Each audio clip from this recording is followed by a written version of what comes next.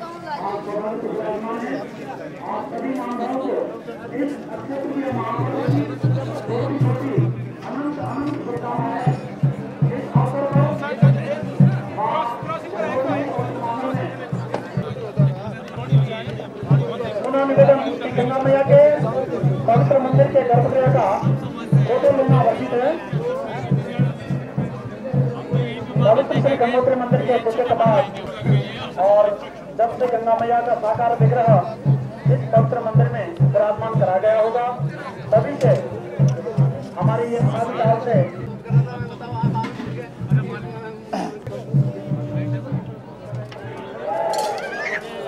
गंगा मैया का